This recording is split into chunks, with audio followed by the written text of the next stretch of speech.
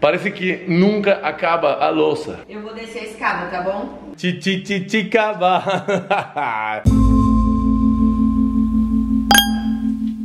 dia, galera! Mais um dia de quarentena. Aqui, pelo menos, já passou uma semana e um pouquinho. A gente vai perdendo a conta de exatamente qual dia é, mas já passou mais de uma semana. E hoje foi o primeiro dia que a Antonella nos deixou dormir até as 8 e isso foi bom. Vale a pena descansar mais um pouquinho, porque todos os dias estava acordando muito mais cedo. Não é que seja complicado acordar, mas às vezes duas horas mais de sono são bastante bem recebidas. E olha aí, ela tá empolgadinha. Eu dei para ela uma mágica agora, que eu procurei nas minhas coisas e achei minhas mágicas. Ela tá brincando com uma das minhas mágicas, que ela desaparece e aparece as coisinhas. É muito bacana. Na minha família tem muitos mágicos, né? Meu tio é mágico, meu irmão é mágico. Então sempre teve mágica, sempre, em todas as festas. Sempre a gente tinha uma mágica ou outra em casa. Então eu acho que é bacana a gente tentar passar essa informação se ela se interessar. Se não, não tem problema, mas eu acho que é muito bacana. É bom, cara. Eu me lembro quando eu era criança, como eu ficava emocionado quando fazia uma mágica assim. Agora ela talvez aprenda. Vamos começar o vídeo, vamos começar o dia. Se você gostar deste vídeo, não esqueça de dar joinha, se inscrever no canal se ainda não for inscrito e seja muito bem-vindo por aqui. Vamos pro vídeo. Como começa o dia, galera? Depois do café da manhã, olha aí. Parece que eles são gremlins. Eu não sei se vocês lembram desse filme. Os gremlins eram uns bichinhos que se você colocava água neles, eles se reproduziam. E se você deixava que eles comessem depois da meia-noite, eles viravam mãos. Eram ruins, assim, eram maldosos.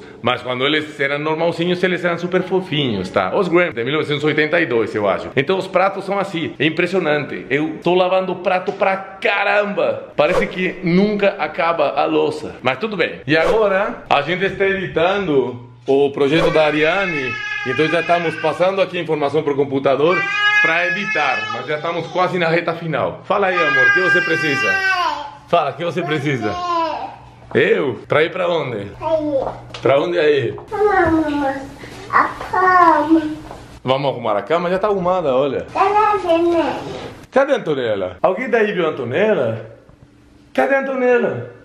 Ai, achei a Antonella! E olha aí quem tá me ajudando a fazer o almoço. A gente vai fazer aqui, esse é pra amanhã. Feijão açuki, que é um feijão diferente, é menorzinho, mas ele tem mais ferro, eu acho. E a gente vai fazer também uma batata doce com queijo, tomate. Mas a gente ainda tem comida do dia anterior, né? A gente tem panqueca, ainda que sobrou uma, e tem escondidinho que eu fiz a semana passada. A semana passada, né? Faz dois dias. Então a gente tá fazendo assim para administrar a comida, mas sempre vai fazendo, cada dois dias vai fazendo alguma coisa. E a gente agora tem que fazer uma organização boa, né? Porque vai ter que ir no mercado amanhã para comprar algumas coisas para mãe da Ariane e vai aproveitar para comprar o que a gente não que precise urgentemente, mas como precisa ir para mãe, a gente vai aproveitar para fazer a compra aqui e não falta nada no final, né? Poder conseguir ficar mais tempo aqui sem sair, porque na verdade a gente não sabe, tem uma incertidumbre, não sabe quanto tempo vai ficar aqui.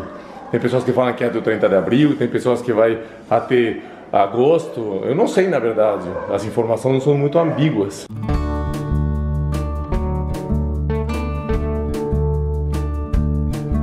Que a Antonella fez sexto? Fez uma coisa simples mesmo, é batata doce com queijo em cima. E a gente vai colocar o molho de tomate aqui também e depois vai pro forno. Eu espero que fique gostoso.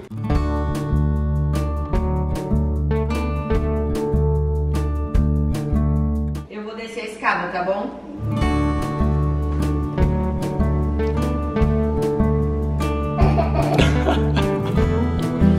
Vou subir a escada, tá bom?